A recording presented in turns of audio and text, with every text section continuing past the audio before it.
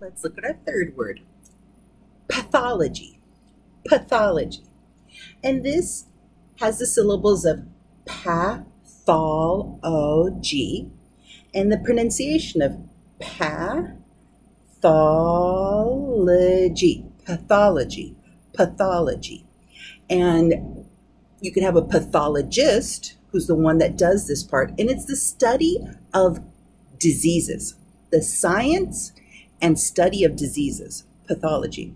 Now, there's also an ad, another the adjective that's not necessarily this. It's kind of negative, pathological, and so we'll look at that, and I'll explain in just a moment.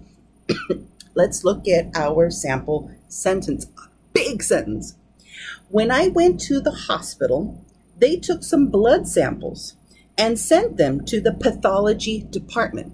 They're going to study the blood and see if there's any indications of what disease is being looked at as a possible explanation.